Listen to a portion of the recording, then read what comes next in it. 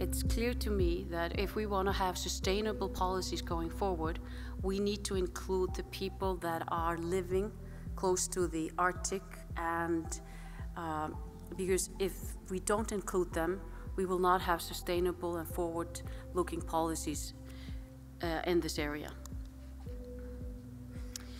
So I think research needs actively to contribute to sa safeguarding the livelihoods, the health, and the well-being of the people living in the Arctic.